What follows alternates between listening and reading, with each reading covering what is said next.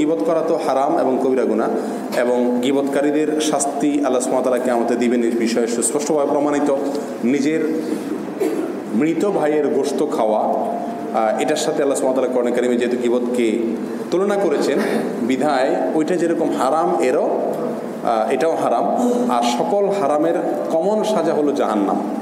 বাকি কোনো কোনো হারামের ব্যাপারে সুনির্দিষ্ট শাস্তির পদ্ধতি বলা আছে, কিন্তু কমন যে শাস্তি জাহান্নাম, সেটা থেকে রক্ষার কোনো উপায় নেই। আপনার নিজ এলাকার পরিচয় দিবেন। আমার এলাকা হলো ভাই লক্ষ্মীপুর।